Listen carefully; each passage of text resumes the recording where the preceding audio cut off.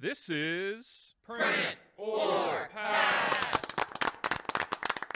Welcome back to another episode of Print or Pass, the review show where we take a look at 3D printer filaments and accessories and run them through a series of tests to determine whether you should print it or pass on it. Today, we're taking a look at eSun's PLA Pro. I have a roll here in olive green, so let's pop this out of the box and check it out.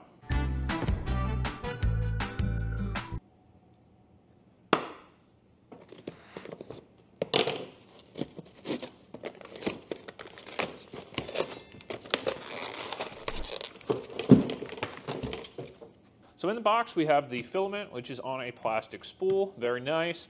It has some tips for printing their PLA Pro or PLA Plus, and I can't really read them because I destroyed them. And then I have, uh, I guess, a brochure for all the different products that they have, but I can't read those as well. eSun recommends to print their PLA Pro between 205 and 225 degrees C, though they do note that most customers find that 210 degrees to 215 degrees Celsius is the sweet point, and a bed temp of 60 to 80 degrees C.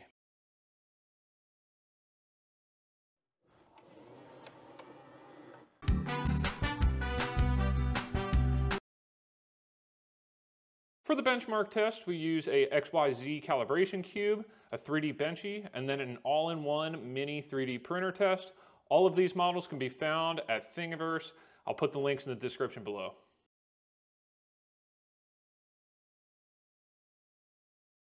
So the calibration cube doesn't show much, but it does show good results so far. The 3D Benchy, it looks great.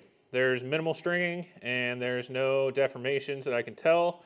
Uh, you might notice a line around the hole of the boat, but that's a common thing for Bambu printers. You can look on Reddit for that.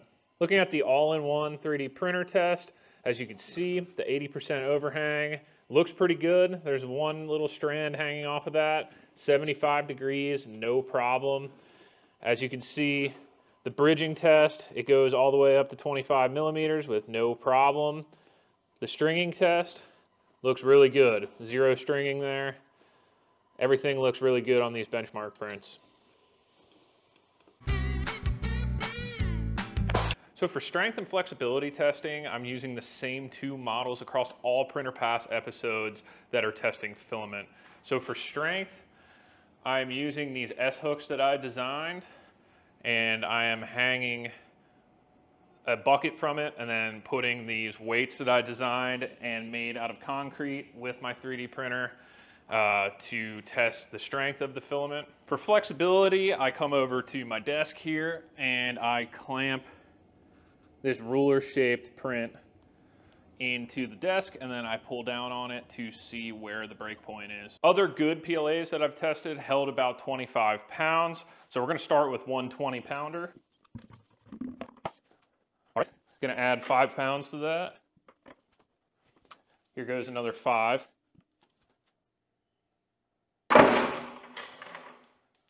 There she goes. So between 25, 30 pounds is what it holds with that little hook design.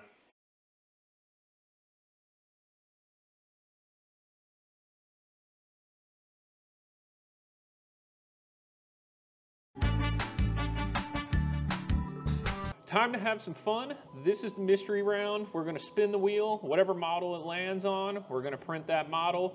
Do me a favor, like the video, subscribe, and put down in the comments a model that you want to put on the wheel and I'll take a comment from this video, put it on the wheel for next time. Let's spin it. What do we got? Oh, Mr. Donald Trump. Whew. That sure is something. A little sumo Trump here running in 2024. I don't know what I'm to do with this thing. Overall, this filament did really well. Printability wise, it worked totally fine in my AMS unit on my Bambu P1S. Uh, there was no stringing. Overhangs looked really good. Uh, bridging looked really good. Visually, it looks pretty good. It has a glossy finish to it. Olive green. I don't know if I would get that again, but I like more bright colors. But it still looks pretty cool. Strength-wise, it did really well compared to the other PLAs I've tested. This is considered PLA Plus or Pro, but it held around 25 pounds as I was putting the next five pounds in to bring it up to 30. It broke the hook. In my other PLA videos, I've put 20 in, and when I put 25 pounds in, it breaks. So, you know, it might hold five pounds more on that tiny hook that I printed. So, it speaks to its strength a little bit. Flexibility looked really good. I'll have to look at it in post when I edit the video to see the angle, but it looked a lot better than the other PLAs I've tested. So overall, eSun PLA Pro, that's gonna be a print. Thanks for watching. Put any feedback or comments down below and see you next time.